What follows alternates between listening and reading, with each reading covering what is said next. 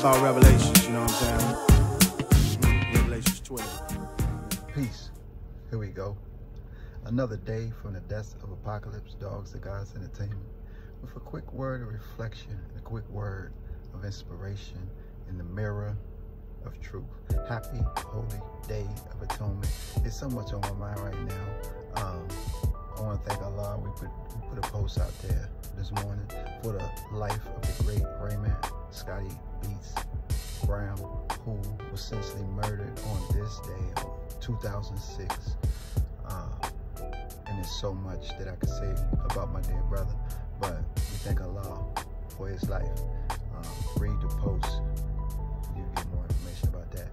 I also want to thank Allah for my wonderful wife, Sister Nanika Muhammad, who did an absolutely great job yesterday for the um, marriage piece, you know, and she caught me off guard, you know what I'm saying? But I'm, I'm grateful that we do have a wife who uh, have no problem openly, openly expressing her love for her husband to the really potentially the entire world because it was webcast you know what i'm saying and so and um, those definitely words from her heart. Uh, she's not a liar. You know what i mean?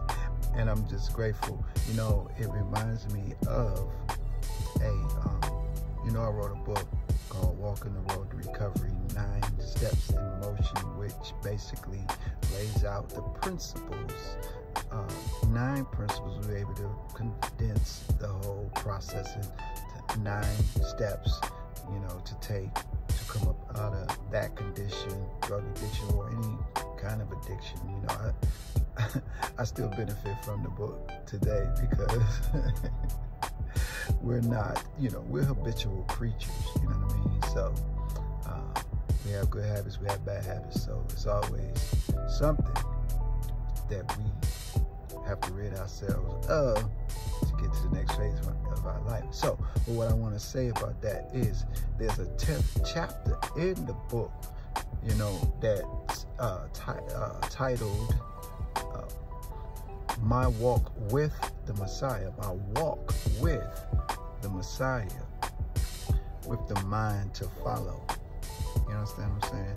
And so everything that my beautiful wife expressed about her husband yesterday has everything to do with what that chapter suggests. My walk with the Messiah, with the mind to follow. We do not perfectly follow Honorable Minister Louis Farrakhan. When I say we, I'm talking about me. You know what I'm saying? I, I, I learned that from Milton D. Muhammad.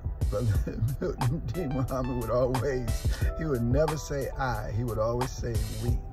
You know, and he explained that to me one day. And um, and the whole idea is that he never leaves Allah out of the equation in what he's sharing. That was the whole point of why he said, use the word we.